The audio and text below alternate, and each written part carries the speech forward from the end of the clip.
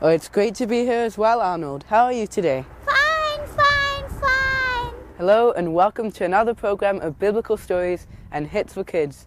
Today we have yet another great story to tell you about.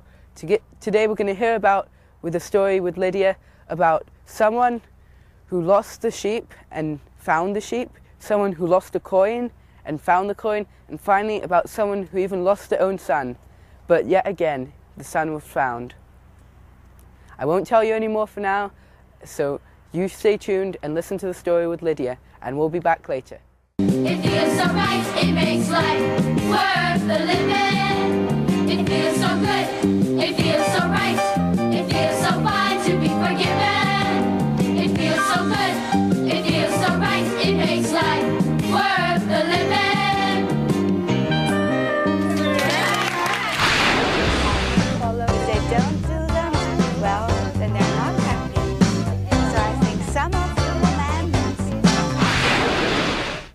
Welcome to another exciting biblical story. You know what? Eh, the people who knew the scripture, who knew the Bible, in Hebrew it's called Tanakh, they were saying, Oh, this Jesus, he has fellowship with, you know, tax collectors and with sinners. You know, he even goes to their homes. But you know what?